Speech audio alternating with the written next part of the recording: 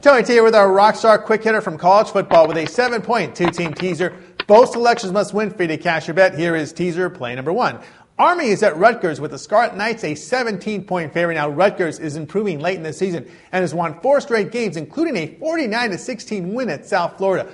Rutgers has found their passing game and is much better at stopping the run than Rice was a few weeks ago. Rutgers, big here. Tease Rutgers, seven points to minus 10. Here is teaser play number two. It's the big game as Stanford faces Cal up in the Bay Area with Cal a nine and a half point favorite. Now, Stanford needs to win this game to become bowl eligible. Now, Stanford pulled the 20 to 13 victory last year, and Cal's quarterback play has not been very good on the season, and they're going to be hard pressed to exploit the Cardinals secondary. Stanford's ground game is good. It'll keep them in striking distance here. It will be no Cal blowout. Tease Stanford, seven points to plus 16 and a half. Your college football two team seven point teaser is teasing Rutgers to minus 10 with Stanford at plus 16 and a half. For sports coverage with a Vegas style, keep your browser aimed at gamblerstelevision.com.